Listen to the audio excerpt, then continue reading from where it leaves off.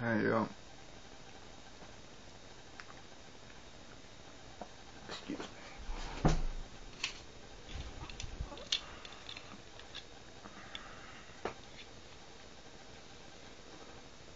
Alright. Sorry. Only thing I have right now. Um. You probably won't watch this. But uh, I hope you watch the next thing. If you watch anything of mine.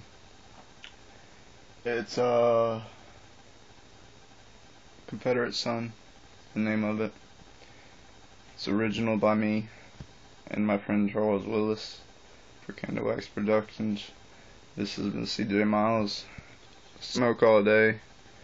Um, peace and enjoy the enjoy the film, please.